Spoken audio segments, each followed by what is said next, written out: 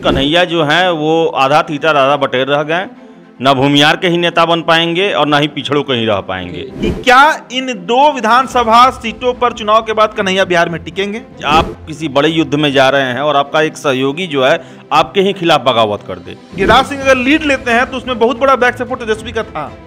तनवीर हसन को खड़ा किया गया और कन्हैया चार लाख वोटों से हारे थे। भूमियार समाज भी उनको एक्सेप्ट नहीं करेगा क्योंकि उन्हों उनका नाम जो है वो देश विरोधी जो कार्यक्रम हुआ था जेएनयू में उससे उनका नाम उछला है। कोई अच्छी चीज़ के लिए नहीं उछला है। और बहुत बड़ा एक वर्ग है भूमियारों का जो कन्हैया को देखना नहीं चाहता है। अगर कांग्रेस की सत्ता आती है तो खुद को वो कृष्ण बाबू की जगह देख रहे हैं मतलब मुख्यमंत्री की जगह देख रहे हैं कन्हैया। तेजस्वी जो है बिहार में बिहार के लिए करते हैं बिहार के लिए लड़ते हैं। भले वो कुछ समय नहीं रहे वो अलग बात है। लेकिन यहाँ पर उनकी एक पहचान है उनके फॉलोअर हैं उनका अपना एक पिताजी का द्वारा ही दिया ही सिद्धांत है, जिसको आज तक वो फॉलो कर रहे हैं। वो यही बोल रहे थे कि हम जब वोट देने जाते हैं तो हमें ना सड़क दिखता है, ना विकास दिखता है, ना विद्यालय दिखता है, हमें लालू जी का चेहरा दिखता है। ये केवल जो है, बस बोलने वाले हैं। बोलने के अलावा कुछ नहीं कर सकते हैं। जेएनयू में भी ये बोल के अध्यक्ष बने, उसके बाद भी बोल के सिर्फ़ जो है ये देश विरोधी काम किए। बेटी और वोट, लोग अपने जात वाले को ही देता है, लोग। नमस्कार, द इंडिया टॉप देख रहे हैं आप। दो सीटों पर उपचुनाव है, लेकिन ऐसा लग रहा है कि देश और बिहार में बड़े चुनाव की घोषणा हो चुकी है। लगातार सभी पार्टियाँ अपने तर्कस की वो तीर निकाल कर चला रही हैं, जो उनकी आखिरी तीर है। कांग्रेस ने भी आज अपना आखिरी तीर चला है। आपको बता दें कि देश के बड़े नेता कहे जाते हैं, युवाओं में उनको बिहार बुलाया है। दो नेता गुजरात से आए हैं और एक बिहार के ही नेता थे जो बाहर में थे, उनको ही बिहार लाया गया है और कल से चुनाव प्रचार शुरू होगा। आज का जो कांग्रेस कार्यालय का माहौल था, वो काफ़ी कांग्रेस कार्यकर्ताओं के लिए, कांग्रेस नेताओं के लिए खुशनुमा होगा, क्योंकि जो माहौल था, ऐसा लगभग कई वर्षों से नहीं देखा गया था। इन्हीं सभी मुद्दों पर हम आज चर्चा करेंगे और अपने सहयोगियों के साथ चलेंगे कि कांग्रेस ने आज जो किया है, उससे आने वाले भविष्य में कांग्रेस की स्थिति क्या रहेगी और कांग्रेस के साथ कांग्रेस के विपक्षी दलों की स्थिति क्या रहेगी? खासकर राजद की स्थिति क्या रहेगी? सबसे पहले चलते हैं हम अपने सहयोगी आदर्श पुरी के साथ। क्या लगता है सर आपको? आज का जो कार्यक्रम रहा है उस कार्यक्रम को किस तरीके से देखते हैं? देखिए आज जो है कि आपने बताया कि कांग्रेस के लिए काफ़ी जोश वाला दिन था और दिन होगा भी क्योंकि युवा नेताओं को जोड़ा है उन्होंने। गुजरात के दो और कन्हैया जो हैं वो शामिल हुए हैं और कन्हैया का जो है एक कहें तो इनके आने से जो है कांग्रेस को एक आवाज़ मिल गई है क्योंकि कन्हैया को सुनने वाले देश में बहुत लोग हैं। अलग बात है कि वोट कितना वो तब्दील कराएँगे ये सबसे तो चुनाव में पता चलेगा। और जिग्नेश और जो हार्दिक पटेल। ये जिन ये दोनों भी आए थे और जिस तरह इन्होंने कमिटमेंट किया कि हमको कांग्रेस को फिर से स्थापित करना है राहुल गांधी को प्रधानमंत्री बनाना है तो एक जोश है लेकिन ये जोश जो है पार्टी कार्यालय से निकलकर विधानसभा क्षेत्रों में कितना रहता है ये अभी देखने वाली बात है।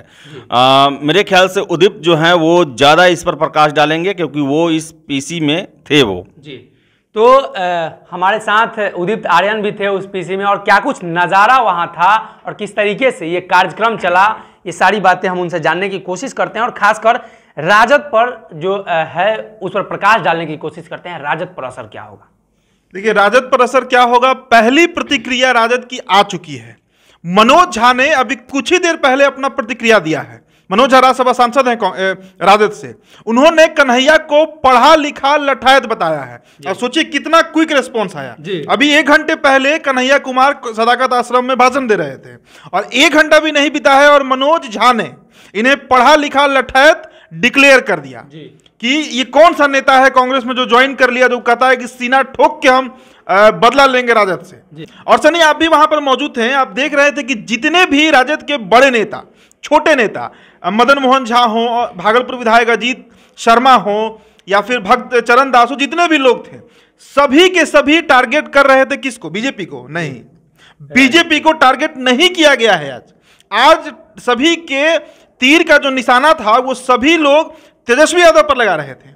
सीधा उनका आरोप था कि तेजस्वी यादव ने उन्हें धोखा दिया।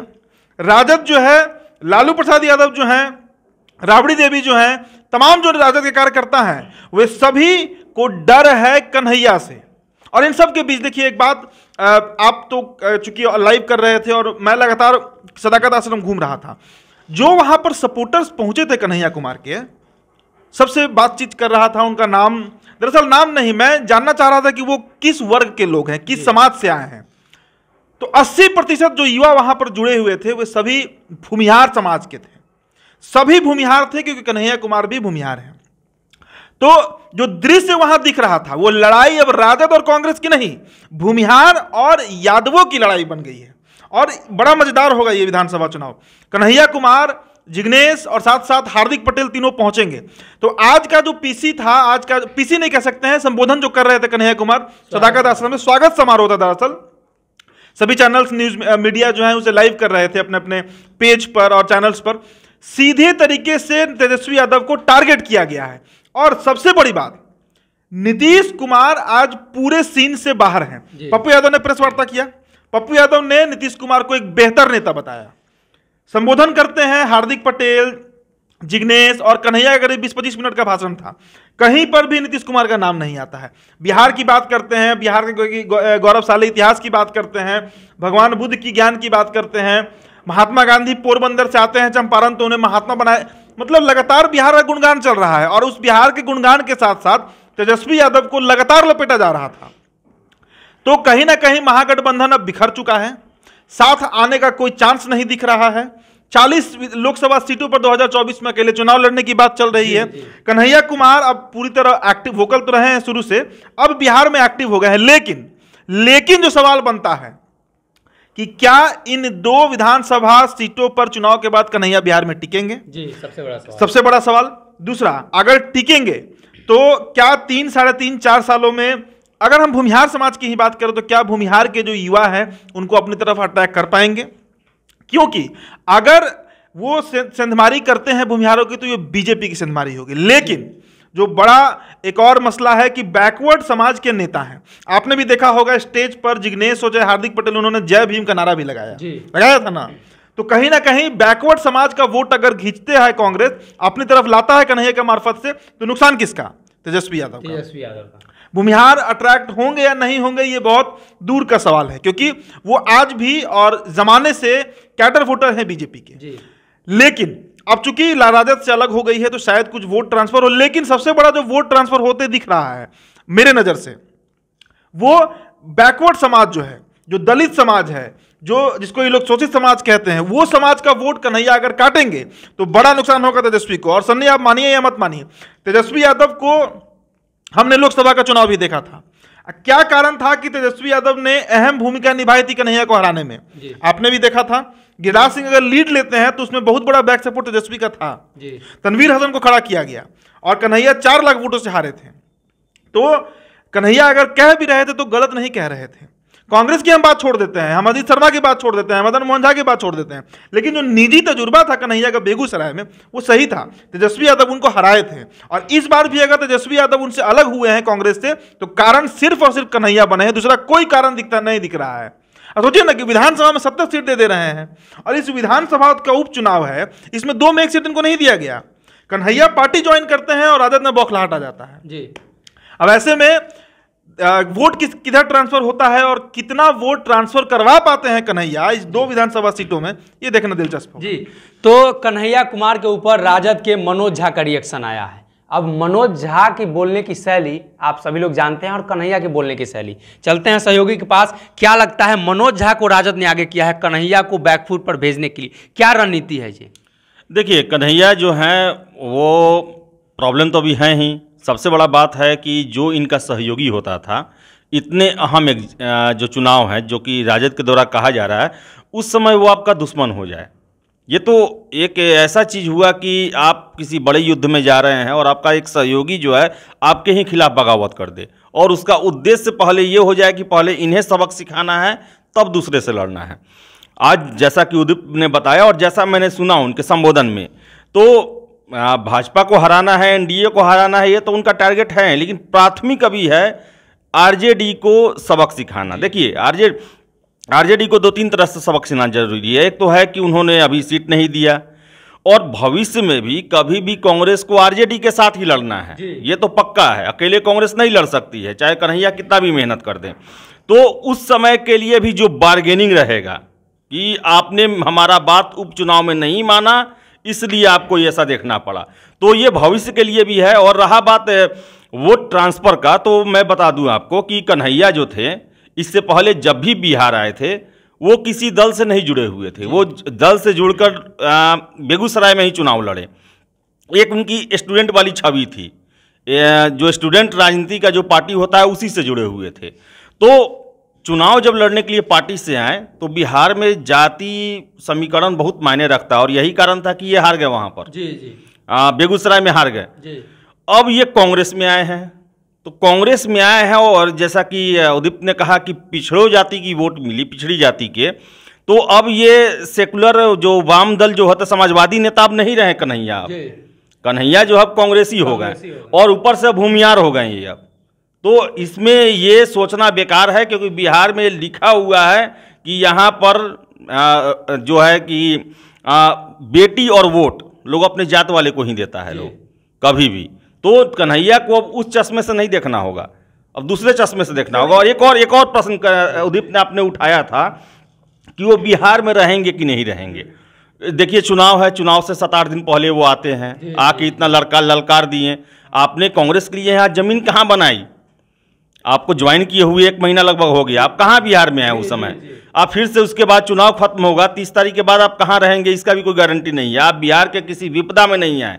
बिहार छोड़िए देश में भी आपने कुछ नहीं किया। जी तो कैसे मान ले? और उसके बाद कन्हैया के साथ साथ एक और चीज़ है। वे उदीप ने कहा कि भूमियार समाज जो है भूमियार समाज भी उनको एक्सेप्ट नहीं करेगा क्योंकि उन्हों उनका नाम जो है वो देश विरोधी जो। कार्यक्रम हुआ था जेएनयू में उससे उनका नाम उछला है कोई अच्छी चीज़ के लिए नहीं उछला है। और बहुत बड़ा एक वर्ग है भूमियारों का जो कन्हैया को देखना नहीं चाहता है। क्योंकि उनके फ़ेमस होने का सिर्फ़ वही जो तरीका है वो देश विरोधी उनके जो आरोप लगा हुआ है देश विरोधी जो भावना भड़काने का उसके आधार पर जन्म हुआ है। और भूमियार समाज कभी भी देश विरोधी को एक्सेप्ट नहीं करती है। और यही कारण रहा कि बेगूसराय में भूमियारों ने उन्हें वोट नहीं दिया। जी जी। तो ये सबसे बड़ा कारण है मुझे लगता है। एक बात जोड़ूँगा सन्नी आ, लगातार तीन चार दफे उन्होंने एक मुख्यमंत्री का नाम लिया था आदेशी। श्री कृष्ण बाबू का लगातार वो रेफरेंस दे रहे थे। तो कहीं ना कहीं वो उनके ऊपर जो एक दाग है जो उन्हें धूमिल करता है देशद्रोही होने का दाग सेडिशन का चार्ज उनके ऊपर लगा था उसको काटने का भी प्रयास कर रहे थे। और भूमिहार समाज को लुभाने के लिए कई दफ़ा उन्होंने कहा कि बिहार में सबसे लंबे समय तक राज किए श्री कृष्ण बाबू उसके बाद कोई उस तरह का मुख्यमंत्री नहीं मिला, जाति का नाम नहीं ले रहे थे। पर ये सबको जानता है कि श्री कृष्ण बाबू किस जाति के थे। बुमियार थे और सही मायने में इस बात को पूरा बिहार एक्सेप्ट करता है, मैं एक्सेप्ट करता हूँ, हमारे दर्शक एक्सेप्ट करेंगे कि जो काम श्री कृष्ण बाबू ने किया, वो उनके बाद कोई मुख्यमंत्री नहीं कर पाया आज तक। उन्होंने कई फैक्ट्रीज बहुत काम किए थे वो। दलितों को देवघर के मंदिर में प्रवेश करवाना हो उसके बाद आपको ज़मीन का जो मामला था जो दलितों के पास नहीं था वो वो जो जमींदारी प्रथा जो खत, उसको खत्म कराते हैं। तो कई काम करते हैं श्री कृष्ण बाबू। तो कहीं ना कहीं कन्हैया ये संदेश देना चाह रहे थे कि हम उसी के वंशज हैं। हम उसी लीनियज में आते हैं। हम उसी श्रृंखला में आते हैं हम उसी समाज से आते हैं और बेगूसराय से हैं। तो अगर बिहार में देखिए इशारों इशारों में वो क्या कह रहे थे? इशारों इशारों में कन्हैया कहना चाह रहे थे कि अगर कांग्रेस की सत्ता आती है तो खुद को वो श्री कृष्ण बाबू की जगह देख रहे हैं मतलब मुख्यमंत्री की जगह देख रहे हैं कन्हैया। तो बहुत लंबा राजनीति उन्होंने किया है और उनके ऊपर जो देशद्रोह सेडिशन का चार्ज है उसको शायद हटाने के लिए साफ़ करने के लिए बार बार वो किसका नाम ले रहे थे? श्री कृष्ण बाबू का। ये बात ऐड करना था। देखिए श्री कृष्ण बाबू की बात आप कर रहे हैं तो श्री कृष्ण बाबू की बात करना अब जो है कन्हैया को यही अब बच ही गया है क्योंकि कांग्रेस को अगर बिहार में कोई बड़ा इतिहास वाला नाम दिखाने को है तो वो श्री कृष्ण बाबू ही हैं। और यही कन्हैया आज से दो साल पहले अगर इन बेगूसराय से चुनाव लड़ रहे थे तो श्री कृष्ण बाबू इनके लिए एक संभ्रांत जमींदार और शोषक हुआ करते थे। क्योंकि जो जो इनका राजनीति रहा तो कैसे इन्होंने अपना विचारधारा को जो है इतना बदल दिया? और एक बात और मैं बता दूँ कि देखिए तेजस्वी जो भी हैं तेजस्वी जो हैं बिहार में बिहार के लिए करते हैं बिहार के लिए लड़ते हैं। जी जी। भले वो कुछ समय नहीं रहे वो अलग बात है। लेकिन यहाँ पर उनकी एक पहचान है उनके फॉलोअर हैं उनका अपना एक पिताजी का द्वारा ही दिया ही सिद्धांत है जिसको आज तक वो फॉलो कर रहे हैं। लेकिन कन्हैया तो अपने जीवन में दो साल के अंदर में यू टर्न मान चुके हैं। तो ये जो पहले इनके लिए शोषक आप ही बताइए कि आप पिछड़ों की राजनीति की बात की है कि कन्हैया के साथ पिछड़े जा सकते हैं। श्री कृष्ण बाबू का नाम लेंगे ये और उनका महिमा मंडन करेंगे। तो इससे तो पिछड़ों पर वोट का जो है ये अपने आप को जब भूमियार भी दिखाएँगे आप और आप सोचेंगे पिछड़ों का भी वोट ले लेंगे तो ये संभव नहीं है।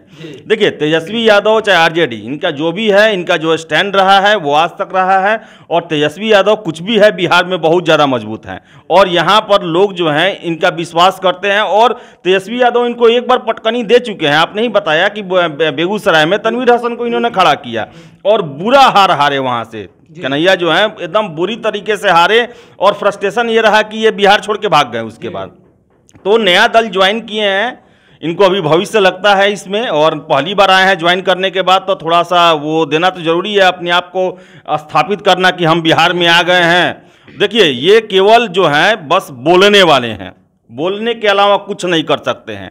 जेएनयू में भी ये बोल के अध्यक्ष बने उसके बाद भी बोल के सिर्फ़ जो है ये देश विरोधी काम किए। उसके बाद बोल के जो है अपना एक असंतुष्टों का जो वर्ग था, जो मोदी सरकार से नफरत करता है, उनका सहानुभूति बटोरे। लेकिन अब कांग्रेस में आए हैं और बिहार में, और आप ही देखिए ना कि कैसे लोग इन पर विश्वास करेगा कि आज से दो साल पहले तक ये लोग आरजेडी के साथ बैठकर पहले नीतीश कुमार का सरकार था तो नीतीश कुमार से इनका बहुत अच्छा संबंध रहा। उसके बाद है कि जब नीतीश कुमार जब आरजेडी से अलग हो गए तो नीतीश कुमार के खिलाफ हो गए आज क्या हुआ कि आरजेडी इनको सीट नहीं दिया? तो दोनों के खिलाफ हो गए। तो बताइए एक जो स्थिरता जो है वो तो इनमें नहीं है। हो सकता है कांग्रेस में अगर दोनों सीट हार जाते हैं और बाद में यह भी हो सकता है कि लेफ़्ट में इनका घर वापसी हो जाए। आप ही सोचिए ना जो समाजवादी अपने आप को कहता है कि हम कम्युनिस्ट हैं उनका कांग्रेस में कभी गुजारा है क्या? जिसका विचारधारा होगा कांग्रेस में कभी गुजारा हो ही नहीं सकता। है वंशवाद का उन्होंने बात किया कि सभी पार्टियों में वंशवाद है। कांग्रेस में क्या वंशवाद नहीं है? वो किस मुँह से बोले कि राहुल गांधी ने हम जैसों को भी जगह दिया? हर एक पार्टी में जो बड़ा होता है, नीचे वाले को जगह देता है। तेजस्वी यादव भी कोई अकेले नहीं है, उनके भी पार्टी में हज़ारों लाखों कार्यकर्ता हैं। अखिलेश यादव के भी हज़ारों लाखों कार्यकर्ता हैं। लेकिन जो टॉप पोस्ट है, लीडरशिप जो है, कभी भी उस परिवार के ही हाथ में रहता है। तो कन्हैया जो है, क्या इससे इनकार कर सकते हैं कि कांग्रेस से वो प्रधानमंत्री देश के बन सकते हैं? ये बोल सकते हैं क्या? देखिए, कन्हैया जो है वो, उनका जो है पूरा फ्यूचर जो है फेल्योर है और उनकी पहचान जो है वो लेफ़्ट से बनी हुई थी लेफ़्ट की विचारधारा से बनी हुई थी। कांग्रेस एक समुंदर है वहाँ पर ये आके विलीन हो जाएँगे। सब एक सागर में एक बुंद की तरह है बर्बाद हो जाएँगे। इनसे मुझे लगता है कि ये तेजस्वी का कुछ नहीं कर पाएँगे। तेजस्वी का आज भी लड़ाई जो है वो जदयू और बीजेपी से है और आगे भी इन्हीं से रहेगा कांग्रेस से कभी नहीं रहेगा। और एक और बात सन्नी मैं कंक्लूड कर ही दूँ इस बात को। बहुत सही कहा आदेश पुरी ने। देखिए तेजस्वी यादव का एक वर्ग है जो उनके पिताजी के द्वारा बनाए हुए वोटर्स हैं बिहार में वो उन्हीं को वोट करेंगे। कल मेरी एक बात हो रही थी एक एसबीआई ब्रांच के प्रोविजनल ऑफिसर हैं खाटी लालूवादी कह सकते हैं उन्हें आप। बहुत शिक्षित बीएचयू से ग्रेजुएशन है उनका मास्टर्स है एमबीए किया है उन्होंने। वो यही बोल रहे थे कि हम जब वोट देने जाते हैं तो हमें ना सड़क दिखता है ना विकास दिखता है ना विद्यालय दिखता है हमें लालू जी का चेहरा दिखता है। तो वो समाज जो है जैसे लालू जी का चेहरा दिखता है और उस पर वोट करता है उसके लिए कन्हैया कोई फैक्टर नहीं है उसके लिए नरेंद्र मोदी कोई फैक्टर नहीं है उसके लिए राहुल गांधी उसके लिए दुनिया का कोई भी नेता कोई फैक्टर नहीं है उसके लिए लालू यादव फैक्टर है। तो वो समाज का वोट नहीं लेने जा रहे हैं।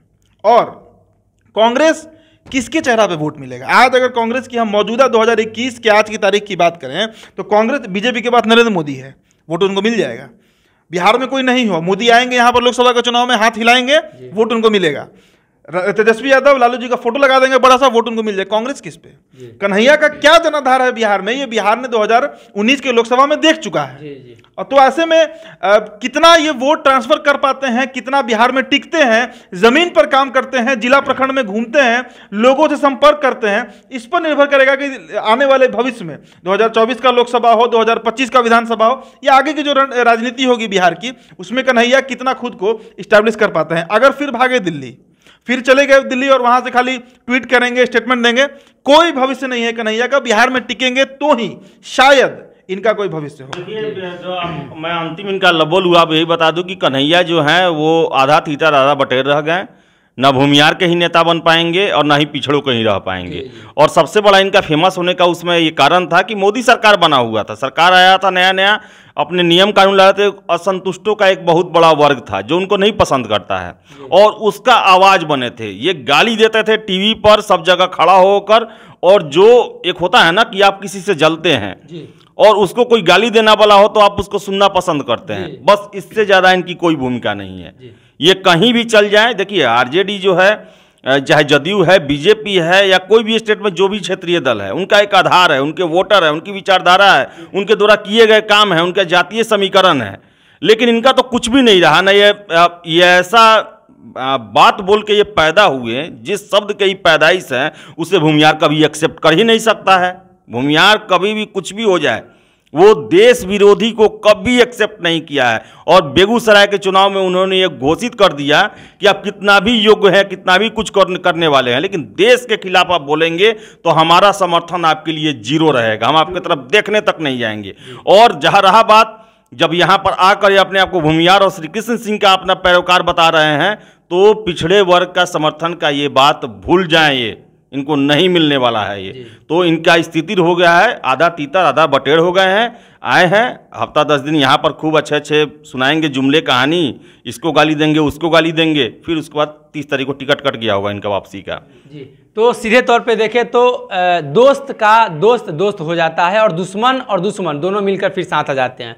वही कहानी है और इनके साथ भी वही घटा एक असंतुष्ट वर्ग था मोदी सरकार के और वही असंतुष्ट वर्ग इनके साथ जुड़ा और धीरे धीरे इनकी पब्लिसिटी पूरे देश में फैली, जैसे हार्दिक पटेल और जिग्नेश मिवानी की पब्लिसिटी गुजरात से निकलकर सामने आई। तीनों नेता एक ही तरह के राजनीति के उपज हैं, एक ही तरह के आंदोलन के उपज हैं। अब सबसे बड़ी बात यह होगी कि बिहार में वोट की राजनीति रोटी और बेटी की भी होती है। अब आने वाले दिनों में देखना होगा कि ये कितना इसको सत्य कर पाते हैं, क्योंकि तेजस्वी यादव ने इसको सत्य करके दिखा दिया है। लालू यादव ने इसकी शुरुआत की थी और तेजस्वी यादव आज तक इस बात को सत्य करते हैं कि वोट की जो राजनीति है, रोटी बेटी की चलती है और इसी आधार पर बिहार की भी राजनीति चलती है। और जिस तरह का, जिस तरीके से इन्होंने बताया कि आने वाले दिनों में उनका टिकट भी कट गया होगा तो सबसे बड़ा सवाल उनके लिए यही होगा कि क्या बिहार में चुनाव के बाद, यानी उपचुनाव के बाद वो कहाँ रहते हैं?